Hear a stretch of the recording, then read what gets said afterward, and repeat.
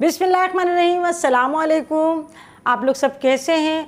और मेरी हमेशा आपके लोगों के लिए यही दुआ होती है कि अल्लाह पाक आपको अपने अपने घरों में खुश रखे और बहुत ज़्यादा अल्लाह पाक आपको खुशियाँ दिखाए, सेहत और तंदुरुस्ती दे। और अल्लाह ना करे किसी की कोई भी परेशानी तो अल्लाह पाक अपनी रहमतों से, बरकतों से इसको दूर कर दें। आमीन सुबह आमीन। और आज जो है वो मैं आपको रेसिपी दे रही हूँ डबल रोड मीठे की। तो मेरे पास काफ़ी कमेंट्स आई थी कि, आंटी ये डबल रोड मीठे की हमें जल्दी रेसिपी दें, हम लोग ट्राई करेंगे। तो आप लोग ज़रूर इसको ट्राई कीजिएगा। मेरे कहने से, मेरी रेसिपी से इन ताला आपको ज़रूर पसंद आएगी। बहुत आसान सी रेसिपी है और बहुत ज़बरदस्त मीठा तैयार होता है। तो हमारी जो बड़ी ईद है ईद अज़हा, इस पर आप ज़रूर ट्राई कीजिएगा। इन आपको, आपके मेहमानों को, आपके घर वालों को ज़रूर पसंद आएगी। और माशाल्लाह माशाल्लाह, अभी आज ईद ईद अज़हा का चाँद नज़र आ गया है। आप सबको बहुत मुबारक हो। ये हमारी जो है सबसे बड़ी ईद होती है।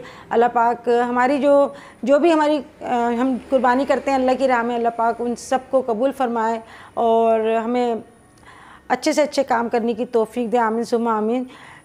और इतनी ज़्यादा मेरे पास कमेंट्स आती हैं, इनके लिए तहे दिल से शुक्रिया। और जिनके मैं कमेंट्स का जवाब या रिप्लाई नहीं दे पाती तो आप बुरा मत मानिएगा, क्योंकि बाज़ लोग कहते हैं कि आपके जो जानने वाले थे, उनके नाम लेती है मेरे।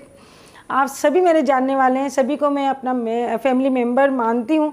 बस ये होता है कि रेसिपी के अलावा भी मेरे घर के अंदर काफ़ी सारे और बहुत ज़्यादा काम होते हैं तो जब मैं, जैसे ही मुझे टाइम मिलता है, मैं फ़ौर आपकी कमेंट्स का रिप्लाई करती हूँ। और आज मुझे आज मैं आठ नंबर के बाज़ार गई थी। आज मुझे काफ़ी ज़्यादा मुझे सब्सक्राइबर मुझे टकराए। और जबकि मैं मास्क लगाई हुई थी, मगर उन लोगों ने मास्क में भी मुझे पहचान लिया। तो ये इनकी मोहब्बत है और इनकी, इनका खुलूस है जो उन्होंने मुझे मास्क में भी पहचान लिया। तो इन सब का मैं शुक्रिया अदा करना चाहूँगी। और एक चाहत नाम नाम की हैं, उनकी मम्मा हैं, वो काफ़ी मेरी बड़ी फ़ैन है। उनकी जो है नंदे मुझे मिली थी, यानी उनकी बच्ची चाहत की फुप्पी मिली थी। उन्होंने कहा था, चाहत का नाम ज़रूर लीजिएगा। तो और भी मैं अपने सब्सक्राइबर हैं जिन्होंने कहा कि नाम लूँ हमारा नाम लें। तो अभी जो है हम अपनी रेसिपी की तरफ़ चलते हैं। तो रेसिपी स्टार्ट करना शुरू करते हैं हम लोग। तो दूध लिया है मैंने यहाँ पर एक लीटर और इसको हम जो है बॉयल करने के लिए रख देंगे। तो थोड़ा दूध मैंने बचा लिया इसको हम जो है बाद में यूज़ करेंगे। तो दूध गर्म हो चुका है और इसमें मैं डाल रही हूँ यहाँ पर ग्रीन फ़ूड कलर यहाँ पे तकरीबन दो चुटकी करीब मैंने ग्रीन फ़ूड कलर डाल दिया और इसको अच्छा सा हम मिक्स करेंगे। तो दूध जब गर्म हो जाएगा, उसके अंदर हम डाल देंगे चीनी। तो चीनी हम अपने टेस्ट के मुताबिक डालेंगे। यहाँ पे मैंने तकरीबन आधी प्याली के करीब चीनी डाली है। आप चाहें तो कम या ज़्यादा कर सकते हैं, क्योंकि बाज़ लोग थोड़ा मीठा ज़्यादा खाना पसंद करते हैं, मगर मैं नॉर्मल मीठा खाती हूँ। तो मैंने यहाँ पर आधी प्याली डाली है एक लीटर में। और इसको थिक करने के लिए हम यहाँ पर इस्तेमाल करेंगे कॉर्नफ्लोर। तो ये मैं डाल रही हूँ तकरीबन दो चम्मच। अगर मुझे लगेगा कि मुझे इतनी थिकनेस नहीं मिल रही दूध के अंदर तो हम दोबारा भी कॉर्नफ्लोर घोल कर शामिल कर सकते हैं। तो इस वजह से मैंने अभी यहाँ पर दो चम्मच लिए हैं और उसको जो थोड़ा सा हमने दूध बचाया था, उसके अंदर हम घोल के मैंने रख दिया। और यहाँ पे दो तीन सब्ज़ इलायची हैं, उसको मैं कूट रही हूँ ताकि इसके अंदर अच्छी सी खुशबू आ जाए। तो इलायची मैंने कूट के डाल दी है। और दूध हमारा जो है वो गर्म हो रहा है। इसको हम चलाते रहेंगे ताकि चीनी भी अच्छी सी मेल्ट हो जाए। कॉर्नफ्लोर हम डाल देंगे इसको थिकनेस बढ़ाने के लिए। तो अभी मुझे जो है देखूँगी थोड़ा चलाकर। अगर मुझे पतला लगेगा तो हम कॉर्नफ्लोर और भी हम घोल कर डाल सकते हैं। तो इसको पकते हुए तकरीबन दो तीन मिनट हो गए, मगर मुझे पतला लग रहा था तो यहाँ पर दो चम्मच में कॉर्नफ्लोर के और लूँगी। और थोड़ा सा जो हमने दूध बचाया था, दोबारा से हम इसको घोल कर डाल देंगे इसके अंदर। क्योंकि अगर ज़्यादा गाढ़ा हो जाएगा तो वो भी हमें इतना नहीं चाहिए और ना ज़्यादा पतला चाहिए, बस नॉर्मली हमें थिकनेस चाहिए। और अगर ये बच जाता है, अगर आपका बेटर तो आप इसको दोबारा आप बनाएँ। तो फ्रिज के अंदर रख दें तो आप इसको यूज़ कर सकते हैं। यहाँ पर मैंने खोया लिया है एक पाव और आधा खोया हम डाल देंगे इसके अंदर, जो हमने दूध का बैटर बनाया था कॉर्नफ्लोर डाल के हमने गाढ़ा कर लिया। तो जब फ्लेम बंद कर लेंगे, उसके बाद हम खोया डालेंगे। इस बात का आप ख़ास ख्याल रखिएगा। थोड़ा सा बेटर मैंने निकाल लिया है कटोरी के अंदर और आधा पाव जो खोया हमने बचा के रखा था, वो हम इस बेटर में अच्छा सा मिक्स करेंगे। और यहाँ पे मैंने पिस्ते मैंने कटिंग करके रखे हुए थे। आप चाहें तो इसके अंदर बादाम काजू या कुछ भी आप ड्राई ड्राई फ्रूट जो है वो आप डाल सकते हैं इसके अंदर। तो ये आधा पाव पूरा खोया मैंने डाल दिया कटोरी के अंदर और थोड़ा सा बेटर हम और डाल के इस, इसमें शामिल कर देंगे। और ज़्यादा हमें पतला नहीं रखना बस हमें गाढ़ा ही गाढ़ा रखना है। तो इसको भी हम ग्रीन करने के लिए थोड़ा सा फ़ूड कलर और डालेंगे। तो आप ग्रीन कलर या कोई से भी कलर आप इस्तेमाल कर सकते हैं।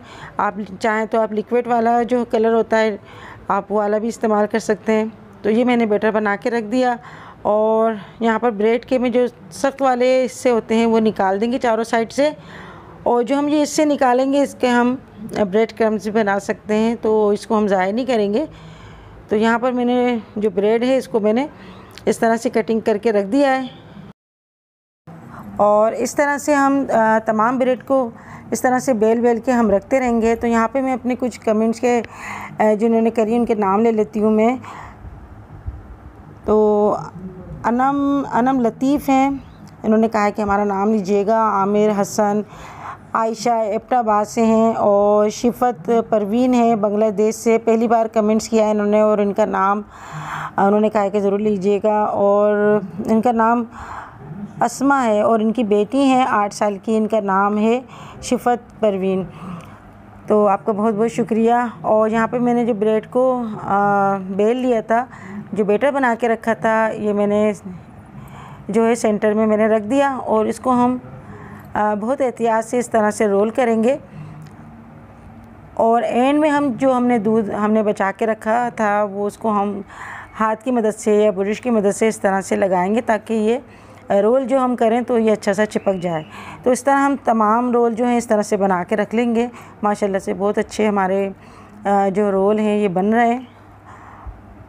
और बिलाल सराज हैं, बिनते अकरम सरगोदा से और सरफराज नाज हैं।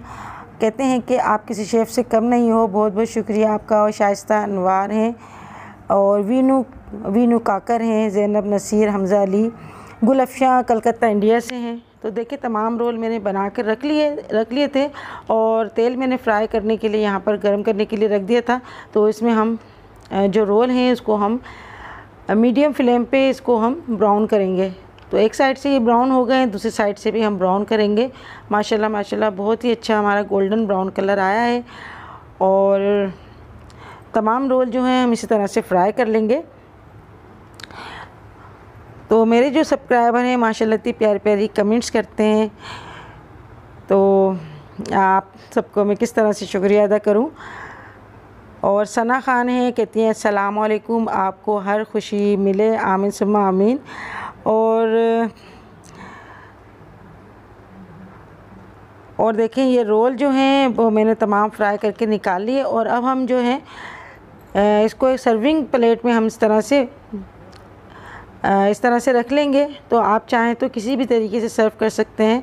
तो मैं ये सर्विंग प्लेट में इस तरह से बराबर बराबर रख रही हूँ। तो बहुत ही अच्छे लगते हैं देखने में। आप चाहें तो ऊपर से चांदी के वर्क भी लगाएँ तो इसको बहुत ही अच्छे लगेंगे। और खाने में जो चीज़ देखने में खूबसूरत लगती है तो खाने में भी बहुत ही मज़ा आता है और उसका टेस्ट जो है वो बढ़ जाता है। और जो हमने बेटर बना के रखा था इन रोल के ऊपर हम डाल देंगे और पिस्ते मैंने काट के रखे हुए थे, ये हम ऊपर से गार्निश करेंगे। तो माशाल्लाह से देखें कितना प्यारा लग रहा है और आप इसको जब खाएँगे तो आपको गर्म भी बहुत अच्छे लगेंगे और ठंडे भी बहुत मज़े के लगते हैं। मगर कोशिश करें कि आप इसको ठंडा करके खाएँ। अच्छा यहाँ पे मैंने पिस्ते ऊपर से गार्निश कर दिए थे और यहाँ पे मैं कुइस है, ग्रीन कुइस तो वो मैंने डाला है। तो देखिए लाइट और डार्क ग्रीन कितना प्यारा लग रहा है। बहुत ही अच्छा लग रहा है हमारा डबल का मीठा रोल डबल मीठा रोल तो यहाँ पर जो है मैं वन सर्विस की जो है वो डेकोरेट कर रही हूँ। तो सर्विंग प्लेट में मैंने दो रोल रखे और इसमें मैंने बेटर डाल दिया। तो आप चाहें तो इस तरह से भी सर्विंग प्लेट में डेकोरेट कर सकते हैं। और जब आप दावत में इसको रखेंगे तो आप यकीन करें कि आपके दस्तरखान की जो रौनक है, वो दुबाला हो जाएगी और बहुत ही अच्छा लगेगा आपको खाने में इन ताला। तो ये ये मैं अभी रखूँगी फ्रिज के अंदर और ऊपर से मैं इसके अंदर और पिस्ते डाल रही हूँ। आप चाहें तो इसके अंदर कोई से भी ड्राई फ्रूट और डाल सकते हैं अपनी मनपसंद के। तो अभी मेरे पास चांदी के वर्क नहीं थे, वरना मैं चांदी के वर्क ज़रूर लगाती।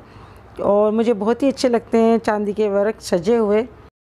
अच्छा जी, ये रतिका पांडे हैं इंडिया से। कहते हैं कि आप मुझे बिल्कुल अपनी अम्मी लगती हैं। आपका बहुत बहुत शुक्रिया। तो आज मैंने आपको डबल रोड मीठे की रेसिपी दी है। इन ताला आपको ज़रूर पसंद आएगी। आप इसको ज़रूर ट्राई कीजिएगा और मुझे बताइएगा कि आपको डबल रोड मीठे की रेसिपी कैसी लगी। और इन ताला मैंने जो तहसीन की बर्थडे पे बनाया था, मैंने बारबेक्यू बिरयानी बनाई है। इसकी रेसिपी मैं आपको जल्द शेयर करूँगी और सैलिड की और और क्या बनाया था? मैंने रोस्ट बनाया था मैंने ग्रेवी रोस्ट तो उसकी रेसिपी मैं आपको इन ताला बारी बारी से देती रहूँगी मैं। और आप इसको ज़रूर ट्राई करें, ईद पे ट्राई करें। आप सबको बहुत पसंद आएगी। और जिन लोगों ने मेरे चैनल को सब्सक्राइब नहीं करा तो प्लीज़ आप लोग मेरे चैनल को सब्सक्राइब करें, लाइक करें, क्योंकि आपके ताउन से ही मैं आगे बढ़ रही हूँ, आपका साथ है तो मैं भी अच्छे से अच्छा काम करने की कोशिश करती हूँ। तो आप लोग अपना ख्याल रखिएगा, अपने घर वालों का ख्याल रखिएगा, अपने माँ बाप का ख्याल रखिएगा, उनकी ढेर सारी दुआएँ लें, प्यार लें। और इसी बात के साथ आप लोगों से इजाज़त चाहूँगी तो फिर मिलेंगे इन ताला हम नेक्स्ट वीडियो में। तब तक के लिए अल्लाह हाफिज़।